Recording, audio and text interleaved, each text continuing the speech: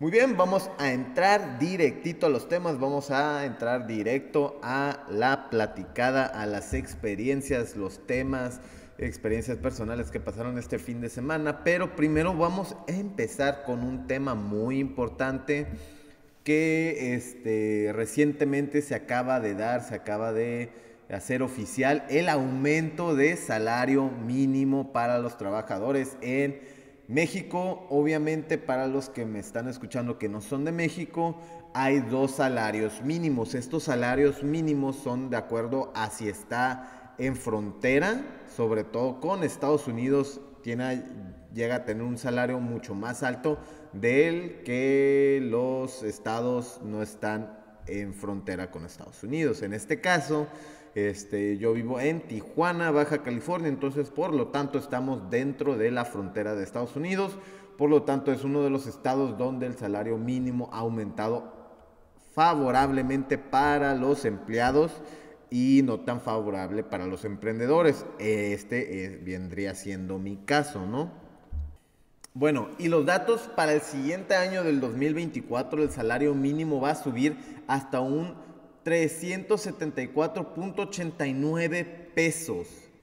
¿Esto qué quiere decir? Aumentó un 20%, un 20% el salario mínimo, mínimo comparado del 2023 al 2024, del 2022 al 2023, si no me acuerdo muy bien, son, fueron el 16%, también fue algo elevado. Pero aquí el tema importante es, vamos a ver lo favorable y los y las cosas malas que puede llegar a traer esto, sobre todo en la ciudad de Tijuana. Esto lo voy a hablar de acuerdo a mi experiencia personal como empleado y como emprendedor que tengo que pagar tres salarios y les voy a contar la situación que estamos viviendo en Tijuana y por qué. Sobre todo porque hay un influencer, vamos a ponerle un este un este creador de contenido famosillo aquí en Tijuana que no lo voy a mencionar y no, voy a tratar de darle referencias, pero él, este, cuando se hizo este anuncio, este, lanzó como un video donde, ah, en, buena, buena hora, López, López Obrador, este, por fin no había visto ningún otro presidente que lanzara esto y que no sé qué, que otro gobierno, un 20% de salario mínimo, que esto va a ayudar mucho a la economía y que no sé qué. Y, yo me quedé como que, ¿en serio piensas que va a ser favorable ese aumento tan descarado? Y lo digo con todo sentido, sobre todo para los microempresarios, para los pequeños emprendedores como lo soy yo. Y ahorita les voy a explicar el por qué. Pero lo que se me hace un poquito tonto de su parte es de que él está metido dentro del ambiente restaurantero. Y el ambiente restaurantero es uno de los ambientes donde más problemas hay en cuanto a los salarios mínimos y los salarios competitivos. Entonces dije, este vato, o sea, no sabe lo que está diciendo. Sí, qué bueno que están subiendo el salario mínimo, este, pues bien por los empleados, mal para los patrones, sobre todo patrones de, como les vuelvo a mencionar, microempresas o pequeños emprendedores que tienen uno o dos empleados. O sea, todo eso aumento va a complicarse. ¿Por qué les explico? Ese aumento es un aumento fijo, es un aumento, es un costo fijo, es un costo directo, vamos a ponerle así, hacia tu negocio, hacia tu emprendimiento. ¿Por qué? Esto, este es un costo directo porque, ¿qué es lo que aumenta? Está aumentando los salarios. Un salario que se va a mantener este, directamente constante durante todo el siguiente año. No es que vaya a subir, no es que vaya a bajar este, nuevamente, pero todo el siguiente año se va a mantener. ¿Qué pasa? Estos costos directos también los podemos ver en la renta, en la luz, en el agua, el internet, todos estos costos que son a fuerzas que los debes de llevar para mantener tu negocio. No es como este año 2023 que hubo un momento donde es que todo está subiendo. Todos los ingredientes están subiendo de los restaurantes y ese tipo de cosas. Es diferente porque esos son costos variables, porque ¿qué es lo que pasa si te suben el huevo, si te suben la tortilla, por ejemplo, para restaurantes, para otras cosas? En mi caso, les voy a poner de ejemplo, en mi caso, todo lo que es este, sabritas, Coca-Cola, si supongamos, a mí me venden la Coca-Cola a 10 pesos y yo la vendo a 15, le gano 5 pesos.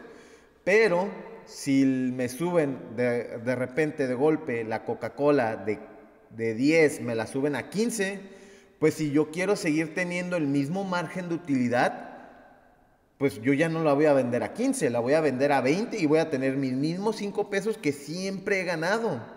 Yo de dónde gano es del tiempo de renta de los, ¿cómo se dice? De, de, ¿cómo se dice? De las computadoras. Pero si me suben un costo fijo, un costo directo, ahí es donde ya me puede afectar un poquito mi negocio. Entonces, por eso, imagínense ahora los restaurantes, el que le suban el sueldo mínimo, si de por sí son a veces restaurantes donde no pagan ni siquiera el mínimo y se van con pura propina, pues ahora no les está subiendo el huevo la tortilla. O sea, antes que era, pues subes los platillos directamente, ¿no? Pues oye, me subió el huevo para este platillo, pues sube ese platillo nada más. O me subió para este otro, subo ese otro nada más. Ahora estamos hablando algo directo. Si de por sí ya habían tenido que subir cierta cantidad de, de precio a sus platillos para recuperar ese aumento de ingredientes, ahora estamos hablando un precio que ni siquiera va a bajar ni va a subir durante el año, entonces va a ser un precio estable que es el salario mínimo de los, em, de los empleados y esto va a afectar a muchísimos restaurantes, pequeños negocios, pequeños emprendedores. ¿Por qué? Porque es un gasto directo que tienen que ver ellos cómo hacer reducción de costos o aumentar sus precios directamente. Entonces, creo que al principio esta persona no se dio cuenta de lo que estaba haciendo, lo que estaba diciendo, sobre todo para Tijuana. Porque ojo, esto muy bien por parte de las maquiladoras y no también, ahorita les voy a decir el por qué.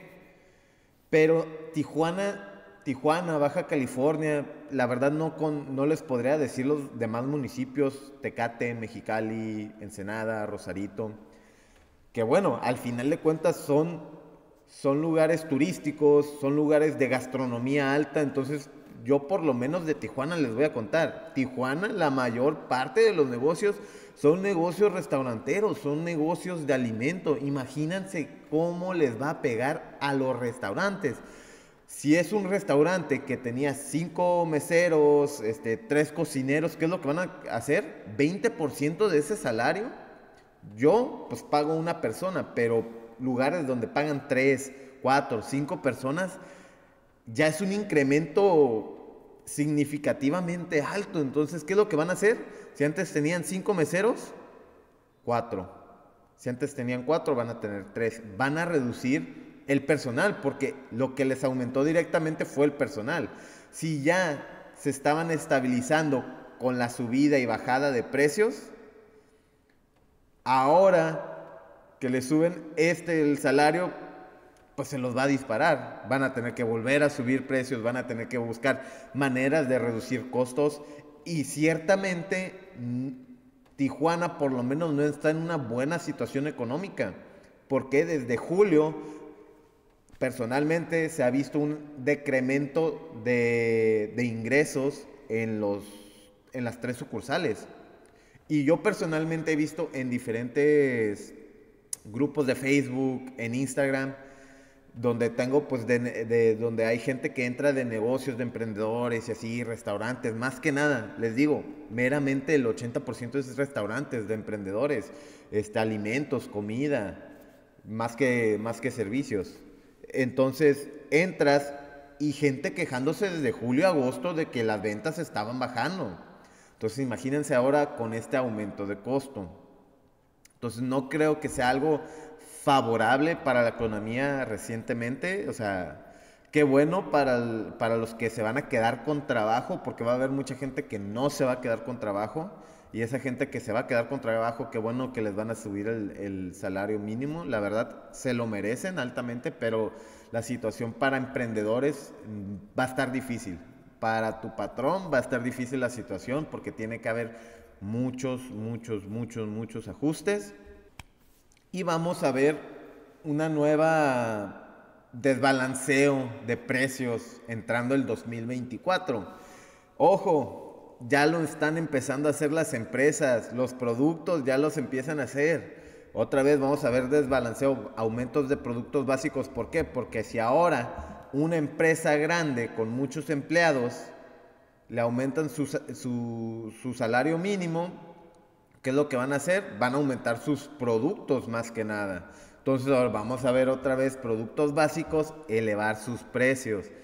Ya lo estoy viendo ahora en Coca-Cola. Coca-Cola es el primero que acaba de empezar con sus aumentos de precios. Justamente se anunció el aumento del salario mínimo y ¡pum! Ticket ya empieza a haber aumentos en diferentes productos de Coca-Cola antes de enero, cuando normalmente los hacían en enero, febrero o en marzo, que era cuando ya más o menos podrían hacer un balanceo, ver cómo está la situación y se hace el ajuste de precios.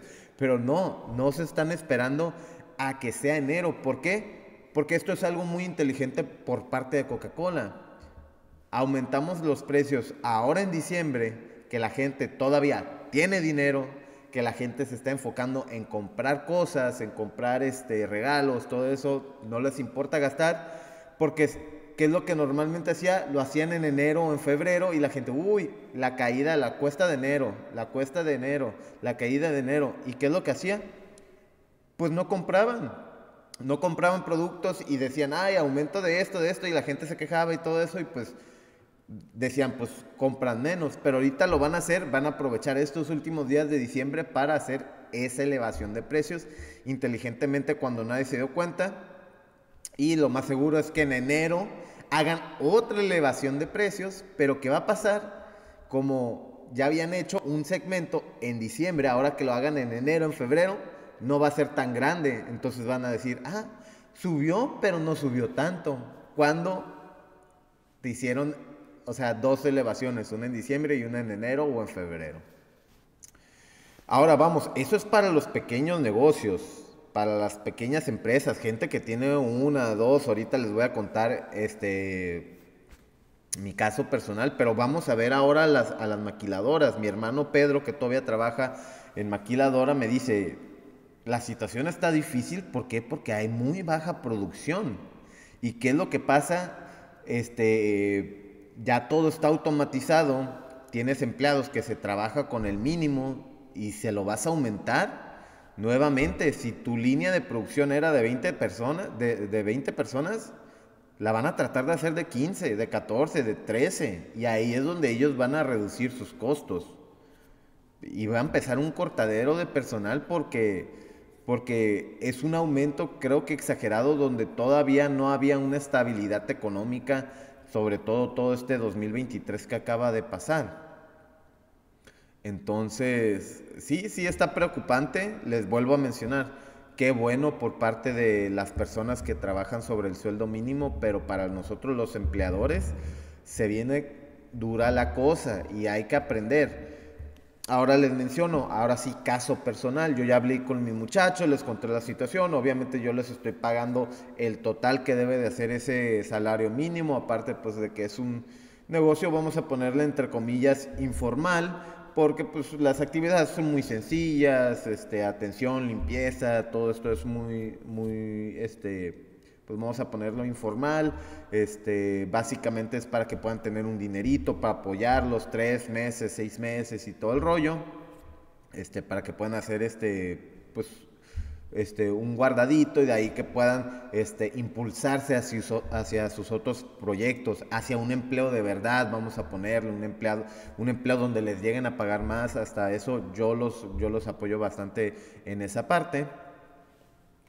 Pero sí les comento que la situación está, está algo, algo difícil. ¿Por qué? Porque eh, en, los gigas, en 2023, 2022 fue un año espectacular. Pero en el 2023 empezamos igual, un poquito mejor, pero solamente los meses enero, febrero, marzo, abril y mayo. En junio empezamos a ver un decremento. Junio, julio, agosto, septiembre, octubre, fueron bajones muy, muy, muy, muy pronunciados. Noviembre empezó a subir y diciembre ahorita, ahí la llevamos. Va bien, se ve que va a salir mejor que, que noviembre. Entonces, digo, puta, este, es que esos estos últimos meses han sido muy difíciles porque hicimos este, por abajo de los de, lo que se hacía en 2022 y de los primeros meses del 2023 y se esperaba que siguiera incrementando o que se mantuviera. Entonces hubo meses que fue hasta la mitad de lo que hacíamos normalmente en enero o en febrero o en marzo de este año, estos últimos cuatro meses, cinco meses. Entonces espero que para el 2024 sea un reflejo del 2023 por lo menos. ¿Qué pasó? No sé si se acuerdan. 2023 pasa esto, elevación de precios, inflación y todo el rollo, suben que las abritas, la coca, el huevo, los cereales, todo lo básico sube. Al igual que subió el, salario mínimo un 16%, pero ahora un 20% pues ya es un poquito marcado. ¿Qué es lo que pasó? La gente iniciando el año del 2023 tuvo dinero, entonces la gente empezó a gastar hasta eso, a pesar de que las cosas estaban caras, unos pues sí se guardaron, sí empezaron a ahorrar, pero tenían con qué gastar. ¿Por qué? Porque el salario mínimo había aumentado. Esperamos que este 2024 sea un reflejo igual que el 2023, que por lo menos tengamos enero, febrero, marzo, abril, meses fuertes y que ya los siguientes por lo menos encontremos una estabilidad económica en cuanto a elevación de precios, el salario, ajuste de costo, pero eso es lo que espero por lo menos de estos negocios, ¿no? Que pueda haber esa, esa, esa estabilidad y que mejore mucho la situación para poder empezar a aumentar pues la capacidad de Benton, que volvamos a tener ese porcentaje del 30% o más de, de, de, utilidad, no de utilidad, de, de capacidad, o sea, de de, afluencia que llegan a los locales, nuestra, nuestra meta es el 30%, pero estamos ahorita rozando el 30%. Tendría que ser para que fuera todo bien, arriba del 30%, pero estamos rozando el 30%, incluso un poquito abajo. Entonces sí está preocupante la situación este, sobre, para el siguiente año, sobre todo con el aumento de salarios, pero bueno, hay maneras de que, cómo ajustarnos, vamos a ver cómo vamos este, a, a pasar esta, pero nosotros estamos bien, pero no me quiero imaginar la demás gente de Tijuana. Y vuelvo otra vez a lo que decía al principio. O sea, la gente, esta persona que dijo, ay, te lo aplaudo, López Obrador, que, que hayas aumentado el 20%, ah, creo que hay mucho mayor análisis y mucha mayor estrategia que se debe de llevar a cabo, sobre todo cuando conoces que Tijuana es un lugar donde nacen muchos emprendimientos, donde nacen muchos restaurantes y que depende mucho de la mano obrera. Y sobre todo que tenemos a la ciudad este, más fuerte de, Estados Unidos, San Diego, una ciudad económica fuertísima, pero que también está pasando por mala, por mala situación. Entonces, en realidad creo que la situación económica de Tijuana, independientemente de los otros estados que están en frontera o del salario mínimo que se encuentra en el centro de México, es algo que se debe de analizar y no se debe de, aumentar el salario tal cual, así un 20%.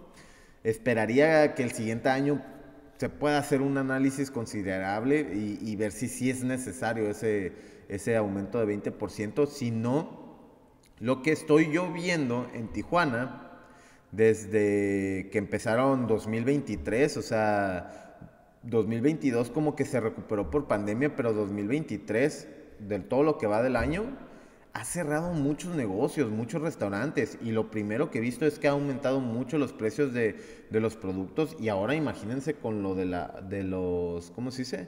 Del salario mínimo, entonces creo que